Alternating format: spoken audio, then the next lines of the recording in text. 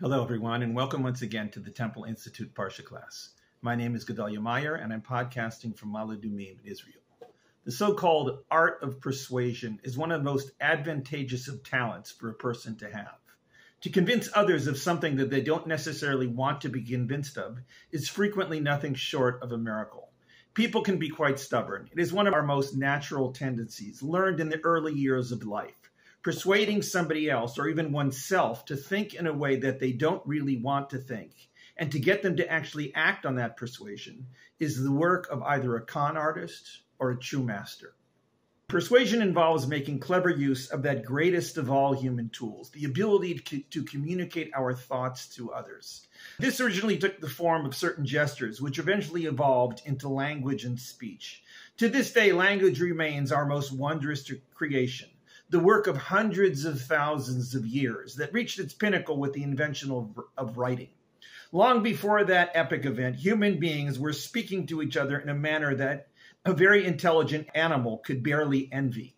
It is a true miracle if we really think about it. Our thoughts are our own, and they populate our very private universe. To communicate them to others is to travel between universes. As amazing as communication is, persuasion is, goes a step further. It attempts not only to communicate one's thought to another, but to get that other person to change their own thoughts. How could such a thing even be contemplated? Thoughts and beliefs are our personal treasures. They should be hoarded like gold. To allow another person to manipulate those thoughts is to sacrifice the most precious reflections of ourselves. But as we all know, this happens all the time. We do it to others and we allow others to do it to us. It is an essential part of living with other people. We all realize at some point that this is the way things have to be. We are really not individuals isolated in our own cocoons. We are more closely compared to a network of minds, each having its own memories and thought patterns, but regularly interacting with many others to glean from their ideas and to inject our own into theirs.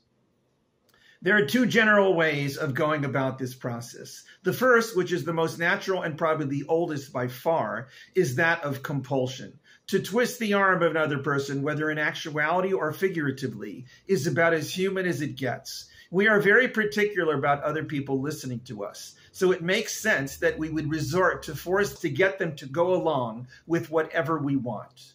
The tried and true method of doing this is physical force. This is where all manner of fighting and wars and violence stems from. It is not unusual that things can work out for the better when this method is used, but it's just as common that the person who was compelled in some way never really bought into whatever was forced upon them.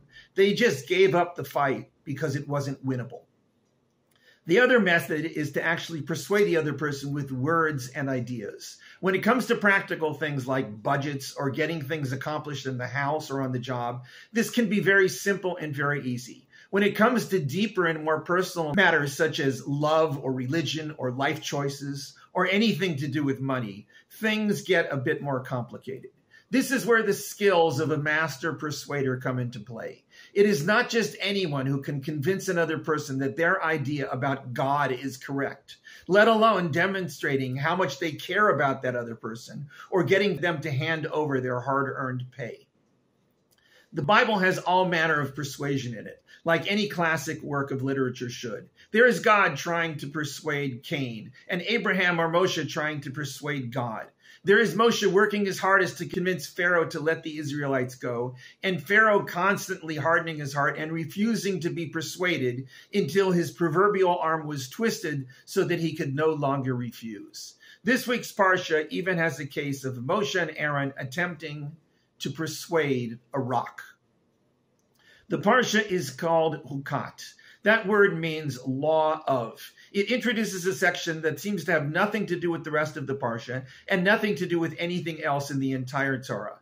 It is a rather long description of a series of laws having to do with what is called the Para Aduma, or red heifer. This was a perfectly red cow that was specifically raised to serve as the central ingredient of a very strange process to achieve a form of ritual purity. It involved purification from contact with the dead, which in biblical times was considered to be the highest form of spiritual impurification. The only way to rid oneself of the impurification was to sprinkle water into which the ashes of this red cow were mixed. If this sounds bizarre, it is because it is. This is about as strange a law as can be found in the Torah. Following this relatively small ritualistic interruption, the narrative restarts with the Israelites journeying through the southern and eastern areas of what is now Israel and Jordan. The fact is that in, in between this weird Para Aduma law and those journeys, there is an unmentioned gap of about 39 years. Apparently, nothing happened during those 39 years that was worth mentioning in the Torah, so nothing is recorded of them. This is something that many people who, who are otherwise quite familiar with the Torah are entirely unaware of. Those 39 years simply vanished from biblical history like they never happened. Following that gap, the next big event is the death of Miriam, the sister of Moshe and Aaron. This is followed by another classic experience of a lack of water. The usual complaints arise, and God tells Moshe to take his staff and to speak to a rock so that it will bring forth water. Moshe then takes his staff as he was instructed, gathers everyone in front of this rock, or more likely the rock face of a cliff, and makes a short speech. He chastises the people for their complaints, calling them rebels and asking if they think it is possible that water will gush forth from this apparently dry spot. He then raises his hand and strikes the cliff twice with his staff. Lo and behold, a great amount of water gushed out so that everyone was able to drink. Rather than this ending on a happy note, Moshe and Aaron were themselves taken to task for their role in this incident. God tells them, quote, because you didn't believe in me to sanctify me in front of the Israelites, therefore you shall not bring this community into the land that I gave to them. The Torah then states that these waters are called Mei the waters of contention, where the Israelites disputed with Hashem and where Hashem was ultimately sanctified. The rest of the Parsha deals with the journeys through the lands of Edom and various nations further north. The Edomites refused the Israelites' entry into their land, threatening war if they tried to come through. Right after skirting around the kingdom of Edom, Aaron died and was buried on a certain mountain south of the Dead Sea. Next, there is a confrontation with the Canaanite tribe, followed by an encounter with snakes in the desert. The snake attacks end when Moshe is divinely instructed to make a copper replica of a snake that somehow heals the people who were bitten. After this, there were more wars, this time with nations that lived just east of the Jordan River in what is now Jordan and the Golan Heights. The Israelites had to pass through the territory of the nation of Moab, around what is now the city of Amman. This encounter will be explored in more detail in next week's Parsha. Getting back to that thing with the water and the rock face, what really happened there? What did Moshe and Aaron do that was so deserving of this harsh punishment? This is one of the classic questions on the Torah. There are many answers that have been advanced over the centuries. The problem is that what they did doesn't seem to be all that terrible. So they hit the rock instead of speaking to it. The bottom line is that the plan was successful and everyone got their needed water. Who cares how they accomplished this impossible feat? The only clue we have is that Moshe and Aaron were divinely told that it was because they didn't believe in Hashem that they were being taken to, to task. Apparently, this lack of belief or faith resulted in Hashem not being sanctified to the appropriate degree. But this just begs the question. They did believe, at least enough to go to the trouble of hitting the rock. They certainly sanctified Hashem in some way, since the Torah states explicitly that Hashem was sanctified there. The classic way of attempting to answer this question is to focus on the difference between the command to, quote, speak to the rock and what was actually done, striking the rock twice with the staff. This, it seems, somehow demonstrated a lack of belief or faith and a lost opportunity at sanctification of God. Some go further and say that it was all over the fact that Moshe hit the rock not once, but twice that was the crux of the issue. Others focus on his little speech, calling the Israelites rebels for their complaints about the lack of water. There are a number of possibilities here, but none of them really seem to demonstrate the crucial point of a lack of belief. Perhaps it is a matter of examining the power of persuasion.